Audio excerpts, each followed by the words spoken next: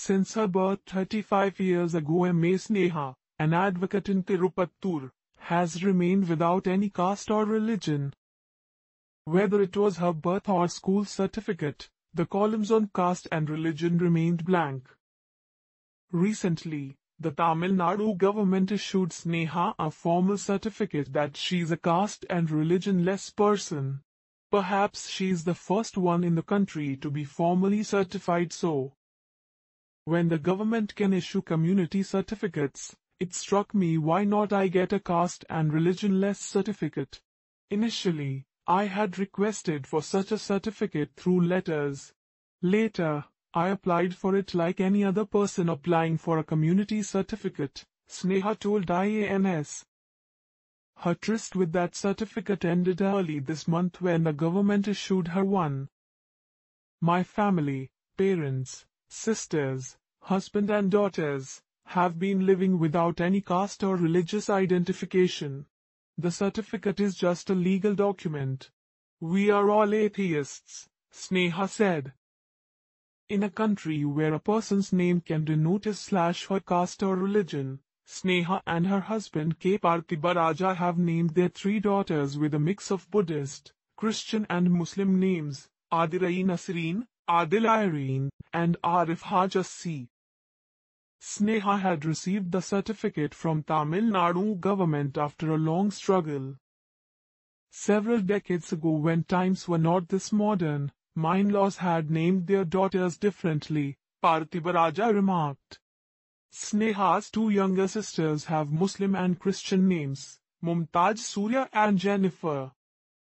My father-in-law P.V. Anand Krishnan and mother-in-law Manimoli are both advocates, and belonged to different castes. They were rationalists and leftists. Sneha was named after a Telangana girl Sneha Latha died in police custody, Parthiba Raja told IANS. The initials before Sneha's name, M.A., denote the first letter of her parents' names. My paternal grandfather was a religious person but not his eldest son advocate P.V. Bhaktavachalam who during his college days got attracted towards communism and rationalism. My father too followed his elder brother, Sneha said.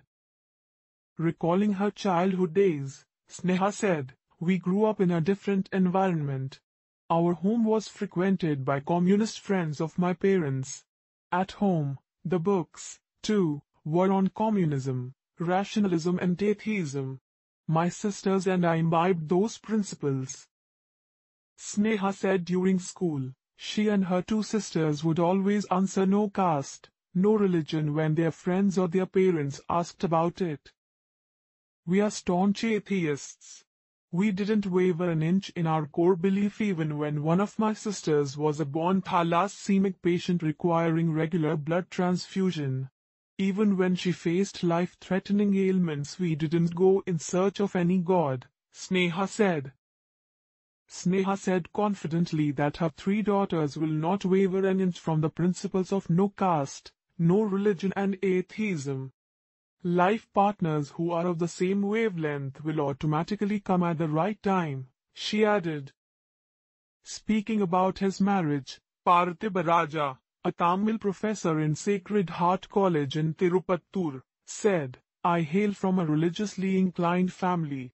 But I got interested in the philosophies of Periyar, E.V. Ramasamy, founder of Dravidar Kazhagam, and Ambedkar and became an atheist.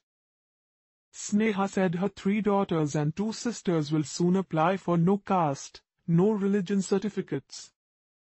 Early in my life I had got a community certificate. I had to approach the court first to get the no caste, no religion certificate, Parthiba Raja said.